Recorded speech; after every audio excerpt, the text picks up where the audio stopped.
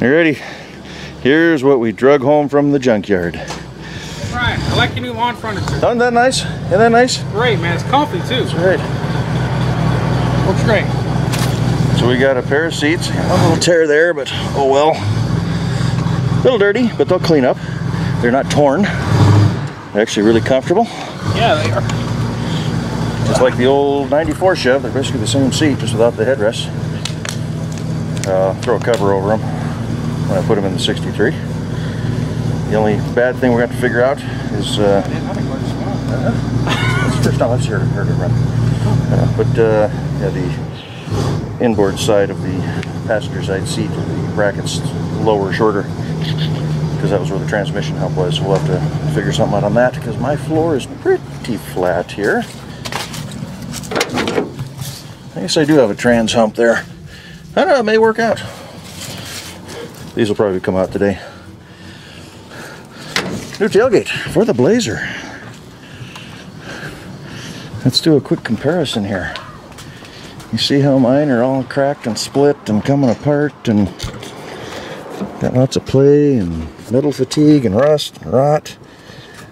This one here, it don't have that.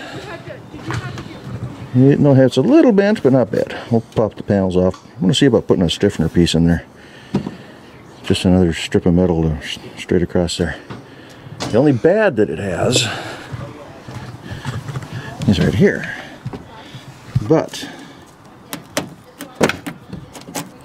if you notice, I got the same damn tailgate over here. I can cut a chunk of patch out from this, because this tailgate is junk. I am not keeping anything off this tailgate other than the badges and the trim and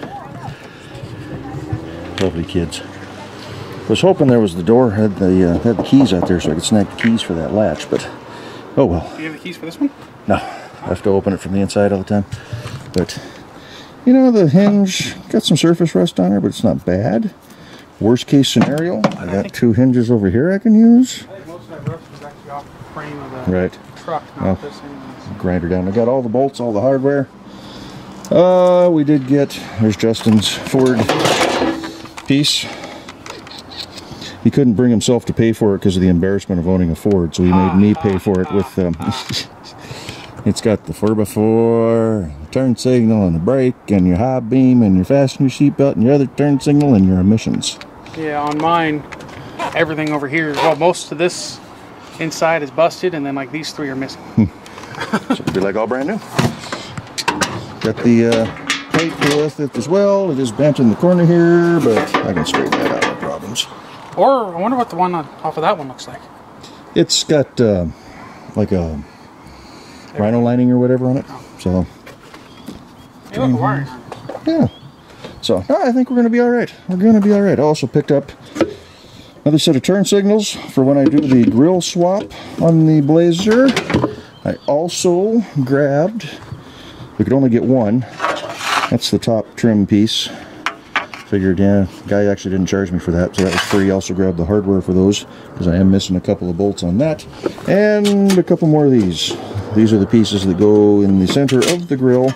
These are actually in very nice shape. Remember, I had to go buy those from the junkyard for the 84. So I might just swap this one out, which is bent and tweaked.